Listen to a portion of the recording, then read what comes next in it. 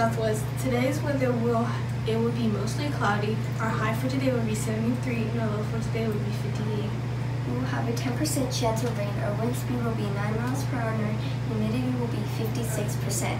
Thank you and have a nice day.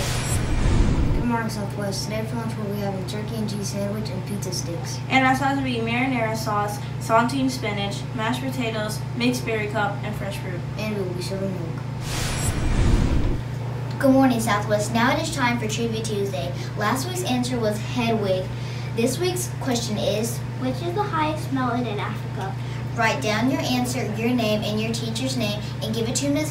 Hogrefe at the front desk. Thank you and have a nice day. Save me. I don't want to be covered in trash. Please make sure that you're recycling.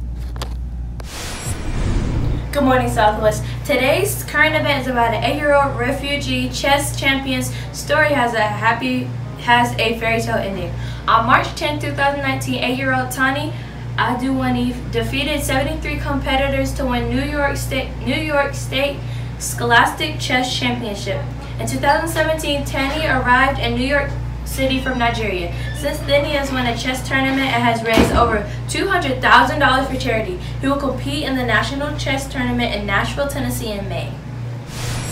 Good morning, Southwest. Today's birthdays for April 11th are Micah Cohen's. Happy birthday!